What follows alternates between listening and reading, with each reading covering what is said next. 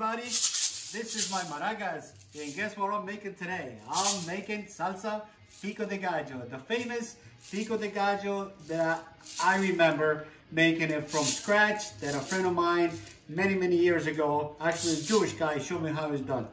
Well, let me continue on. Let me leave these balls on the side. First, we're gonna give you the, uh, the ingredients. You can come a little closer, please. Uh, we have, uh, we're gonna use one Spanish onion, um, tomato. I'm gonna use maybe uh, two, two tomatoes, it depends the size.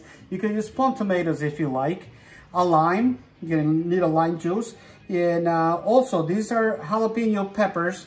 Uh, these are, yes, they're spicy, but I think the serranos are a little more spicy. These are the serrano um, um, um, peppers, you would say. And uh, for, for right now, um, what I'm gonna do, since everybody should be an expert by now on cutting these things into cubes, I already did this for you. So we have here one Spanish onion, all diced up. This is how you dice it. You cut them into pieces. And, and normally, there's different ways of doing it, but I like doing the old, my old-fashioned way. Okay, my, my hands are washed. Everything's good. This is a secret recipe. And I, I, I've only been giving this to a few people, but now it's gonna go, like I said, from my house to your house. We're gonna be celebrating, or not we, us as Americans, we're gonna be celebrating Cinco de Mayo this week. So this salsa will come in good, especially now that we're home. Okay, so this is what we got. We, we got the, um, the uh, onions, okay? It's very simple. You, uh, you cut the, the jalapeno or the serrano into, into little slices. I'm not gonna do it, but when you do it, you cut it and it's gonna come in just like this. Diced up really fine.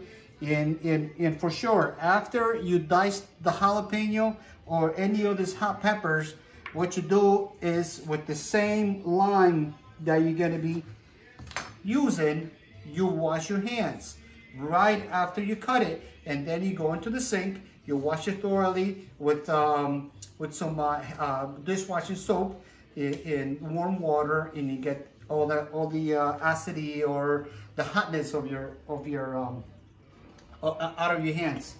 Okay, now we're gonna go ahead. Closer, closer. I'm gonna add the jalapeno. Gonna add a little pinch of salt, maybe a couple more. I would say maybe like a, a tablespoon, roughly. Then, this is a very process that I have and it's been working for me. Then here, this is where you squeeze your, your lime juice into the uh, onion mix in the jalapeno. You squeeze the lime and you let this soak in for a little bit. You know, once once you do this, you could you could go to, go ahead and start dicing up your your tomatoes. But since the video it's um, I don't want I don't want to be you know bored with this uh, and dice it up all the time. It's going to take too long, and I know a lot of people have other things to do. But anyways, after you you you um you squeeze the lime, the hell the uh, the the serrano, you mix this thoroughly. Okay, you let it sit there for a little bit, and then you go ahead and you add your tomatoes. Tomatoes, same thing, you diced up, put them in there. Okay. Again, you go ahead and give it a little mix. You keep going. Okay. This is uh, starting to look somewhat together. Again, with you know, after you diced up the uh, serrano or any other hot pepper, what you do is you hand rub your lime against your fingers and then you go ahead and wash it up. Okay, I'm gonna add some pepper, black pepper, two pinches of that. I like to add, another trick of mine is ketchup. You're gonna have, you know, a little bitterness, a little spicy, uh, the onions is, very, is sweet because it's a Spanish sweet onion. And now we're gonna mix up the flavors uh, I would say this is about three or four tablespoons of ketchup. This is my secret recipe that I'm, I'm giving to you with a lot of love. Okay? So now we have uh, tomato sauce. You can get this Goya around the Northeast. You get this Goya tomato sauce and you also put it on there. Or any tomato sauce from any brand we're good. This, this is about eight ounces. I'm gonna go ahead and add, also add the recipe on the bottom of the screen. And by the way, I hope you, you guys put a nice like to it or subscribe to my videos. Since this is uh, my, I think it's my third video. Okay. Look at it, how it, see how it is? See how it's starting to look? Looking very, very nice. Okay. Gonna add a little more salt, another pinch of salt. I didn't taste it yet, but I know it needs it because there's a lot of uh, vegetables here. Now, what I'm going to do is to use my the best, which one did I wash? the uh, uh, some cilantro, okay? This one I'm going to show you. Cilantro.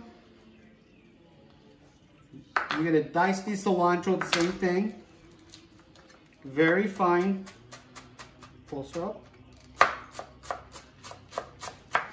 So be careful with your fingers. You're going to use a sharp knife. Okay? Normally I don't show you because I know my audience are very, very good in the kitchen. Okay? Now, since I don't have any you know, the, the thicker saw that I use, I'm gonna go ahead and give you one of these, okay? You ready? Get closer. Look at one more, one more. So for the ones that didn't catch that, this is cilantro. The aroma is so good. I love cilantro. Once you go ahead and put this the uh, cilantro into it, you mix it up again. I'm going to show you. See how it's, it's, it's everything, all the flavors are coming out and mixing each other. Okay? You could tell. I mean, I could smell the aroma, the sweetness of the onions, uh, uh, the ketchup, the uh, sauce. Ah, it smells so good. I wish you could be here and smell this. Now I'm gonna, what I'm gonna do is gonna serve it. Again, like, like I always say, presentation is a must. So here we go.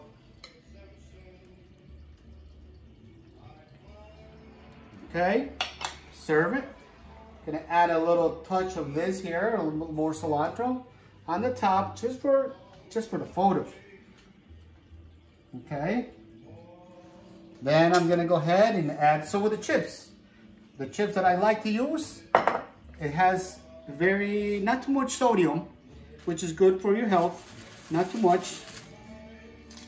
You place it, all the chips around. I'm gonna try it. Just hang in there. This recipe, like I said, um, it's from a, a good friend of mine. Uh, he's already retired. I, I hope he's doing good.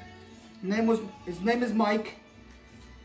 Maybe you'll see me. I've been doing this, bringing to work this recipe, and it kind of made my own little touches, little uniqueness to this.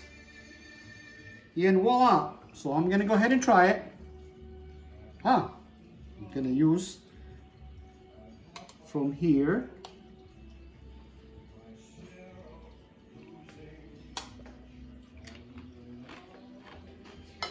Oh, delicious.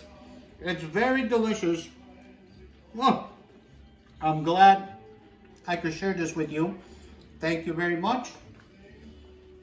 A little Bloody Mary that I've been drinking, just in case. This one's a little spicy, but it's okay. Again, taste it if it's a little too spicy, you know, don't add the seeds if you can handle it. If not, go ahead and use the seeds. Use the jalapeno, use the serrano. You could use one or two, it all depends how much you could handle the spiciness.